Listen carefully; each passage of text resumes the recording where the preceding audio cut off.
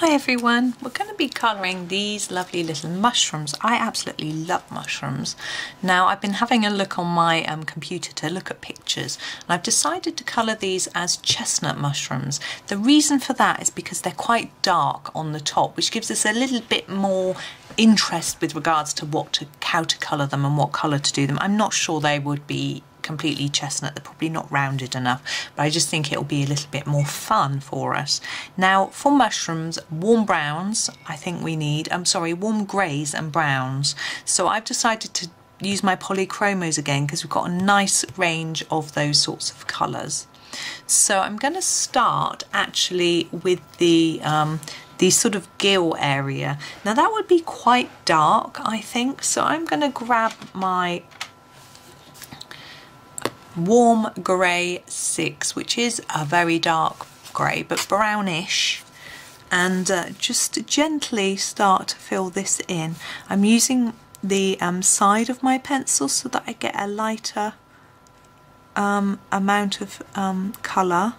I don't want it to be too dark at this point. I'm just having a think about what I'm going to do. I'm going to sharpen um, usually helps with these small, it's quite a small picture. Sorry, my page keeps flipping around. It's a little annoying, but hey ho. So I'm going to put a bit darker up here because there would be more shadow. It's the um, This bit is overlapping the sort of gill area, so it's going to create shadow and there'll be a little less shadow towards the edge. So that's my plan. Hopefully it's you can see a little bit of a difference. I'm going to do the same on each one. And this is just the way I would do it on a on a mushroom house toadstool house whatever as well. But for the stems now they're very pale not quite ivory. They're sort of very pale with a touch of brown. So it's a little bit tricky to get that colour quite right particularly with the polychromos. But what I'm going to do is I'm going to grab the this brown here, which is the nougat, believe me, and the ivory. Just have a little play. I'm going to put the a little layer of ivory down first on the, not too hard, I'm not going to burnish it in or else I won't be able to add any brown, but just a little bit as a base. You can't really see it, but it is there.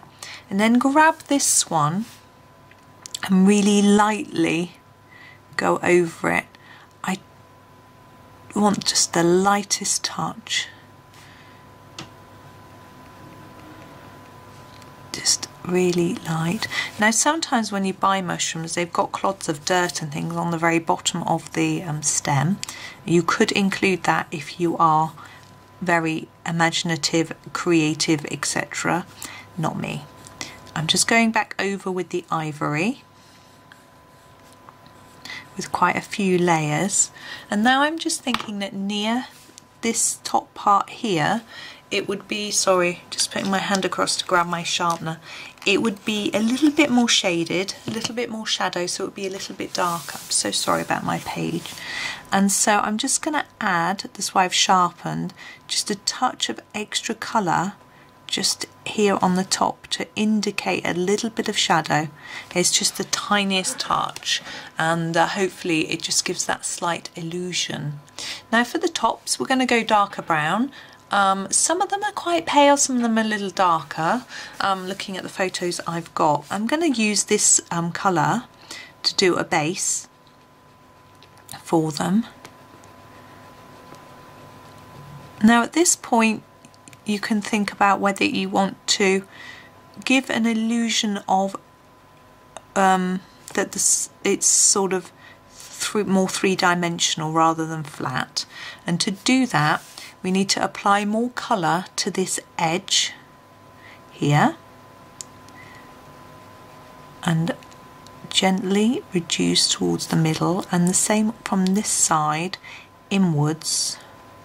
And hopefully that will look more like it's rounded. And we're going to do the same with the little one as well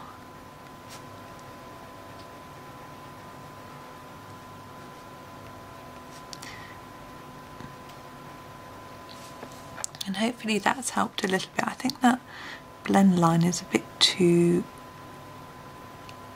there that's better. Now with the chestnut mushrooms they're often got sort of little splodges of darker dirt colour sort of splodges I don't know.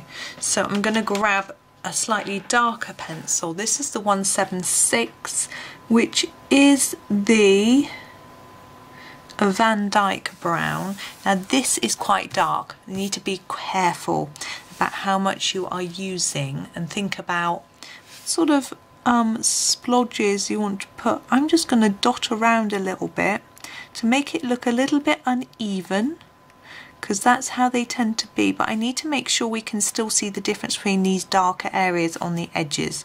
So I don't want to take it too dark just making it a bit splodgy in my technical term. I don't want it to look spotty though so I don't want those splodges to all be the same size. And I'm actually going to use it just to darken just this edge just a tad as well to uh, emphasize that um, shape a little bit more. On each of them.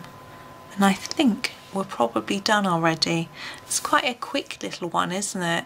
Um, I could try and add mud to make it look a little bit more to give us a bit more time but I haven't got any pictures with mud and I'm not really very confident in doing that so I'm just going to leave it just as is.